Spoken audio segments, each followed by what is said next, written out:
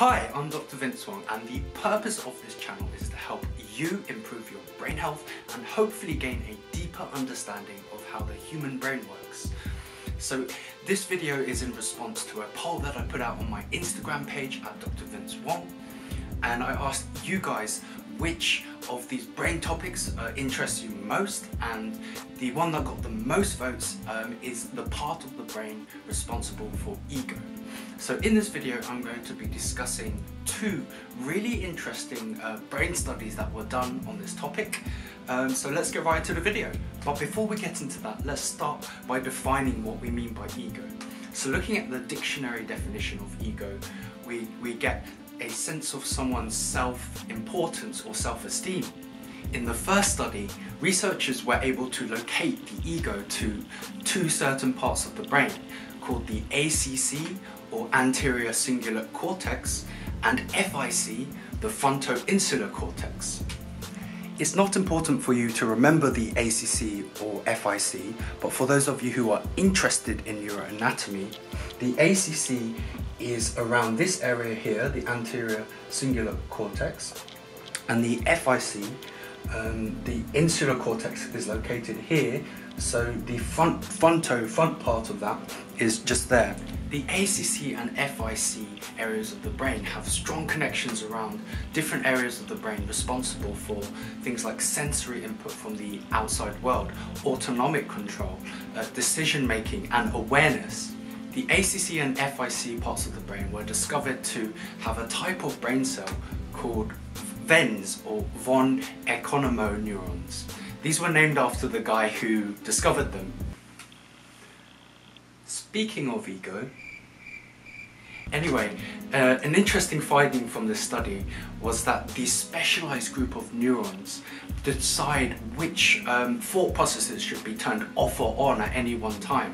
It's very much like um, an orchestral symphony uh, conducted by a world-class uh, conductor who is deciding which musician should play at any time. The second study was done at Imperial College London uh, by Mike Marcus Raichle in 2001. And what he did was he studied the effects of psilocybin, which is the psychoactive component of magic mushrooms, and what effects that had on the brain compared to a control participant. An accidental finding from this study was that psilocybin would turn off certain areas of the brain associated with ego, and this was called an ego dissolution effect. So in the control participant, the areas that lit up associated with ego were called the default mode network. So this study also adds to the evidence that our brain has, a part of our brain is responsible for ego. It is currently believed that the DMN or default mode network only really starts to form in later childhood. So there's evidence to show that children do not have an ego until around the age of five. That's going to vary depending. So what are the practical takeaways we can gain from looking at these two studies? Well, the first one is we all have an ego. We all have a brain and there's plenty of evidence to suggest that there are parts of our brain associated with ego. It's important to remember that ego isn't necessarily good or bad. Um, sometimes it helps us, sometimes it hold us, holds us back. Uh, I can think of circumstances where uh, my ego has given me a boost of confidence to try something new and it's been helpful in that respect.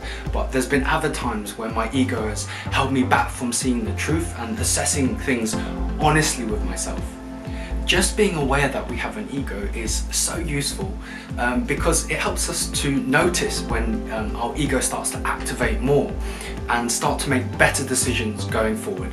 If you found this video helpful, interesting, or if it made you think, do me a favor right now and smash that like button.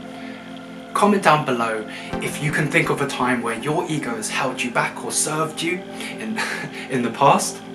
Um, don't forget to subscribe to join the brain training community um, so you don't miss out on any future videos, hit the notification bell. If you want to take part in future polls, head to my Instagram account which I'll link in the description below. Um, and yeah, I'll see you guys in the next video.